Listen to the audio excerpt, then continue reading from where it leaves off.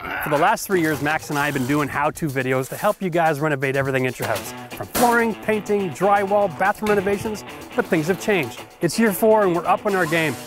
Now it's time for me to stop renovating everyone else's house and fix my own. This year we're renovating an 1880 farmhouse from top to bottom, and let's go talk about what you can expect. What we have here is 140 years of DIY handyman specials gone completely wrong. And what we're going to show you is all the things they'd never show you on TV, how to fix this place up when you're not a millionaire. We're also going to show you trade secrets contractors don't want you to know. So if you're new to this channel and you want to learn things you're never going to see on TV, then click this link right here and you can follow us along on our journey from the very beginning.